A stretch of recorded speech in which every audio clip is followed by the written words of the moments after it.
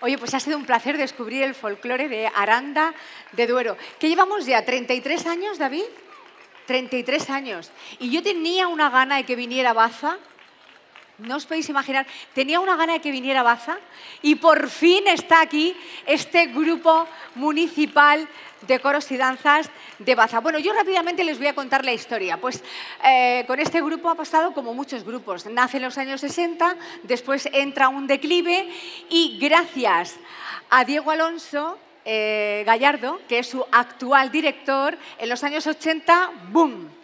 Pero el boom es tan grande que tienen varias escuelas y sobre todo que se dedican a difundir, a conservar el patrimonio artístico, musical, textil también, porque tienen distintas indumentarias. Y a mí me gustaría, bueno, y muy importante, tienen el premio, el premio Dama de Baza 2009. A mí me gustaría que su director, si yo puedo, ¿se viene usted por aquí al centro? Vamos a darle un fuerte aplauso a Diego Alonso. Sí, eh, tráigalo, tráigalo usted. Yo me acerco. Bueno, muy buenas noches. Hola, muy buenas noches. Gracias por estar con nosotros. A un placer. Yo tenía mucha gana que viniera Baza. Pues que sepas que es la tercera vez que venimos por San Javier. Pero es que yo, yo no presentaba, entonces. Es que hace ya muchos años. Hace ya muchos años. Son 33 y pues yo, yo creo que muy vinimos joven. en el número uno. En el primer festival estuvimos aquí. Si mi memoria no me falla. O sea que esto, si repiten, es porque nos gusta mucho.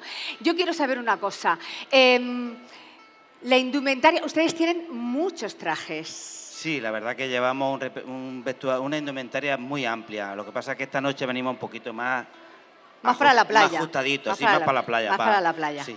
¿Cómo se llama este Mira, la verdad traje? que nuestro, nuestra indumentaria tiene bastante similitud con la de Murcia. Sí. con nuestros refajos bordados y demás. Entonces, en este caso, hemos preferido traer el traje que más representa Andalucía, el traje de, de, bar- de faralaes, de volantes, de, de gitana o de flamenca. Cualquier nombre es válido, o lo, o lo garantizo, que cualquiera. Ese traje de volantes que todo el mundo y que, y que a las mujeres les luce mucho. Y entonces hemos querido traer ese para hacer un repertorio basado en el folclore más netamente andaluz y dejando un poquito de lado nuestra comarca aunque nos ha dolido un poquito dejarla allí. Bueno, bueno. Pero bueno, traemos muchas cosas de Granada. ¿Esa indumentaria también afecta al repertorio escogido? ¿Qué vamos por a ver? supuesto, sí, por supuesto. Esta noche os traemos un repertorio basado, como he dicho, en el folclore andaluz. Permitidme que mire la chuleta. Sí, sí, Os vamos, problema. vamos a iniciar la actuación con el baile por excelencia de Granada, que es ese tanguillo, ese tanguillo que se hizo fa- famoso en los años en los años 50 del siglo pasado,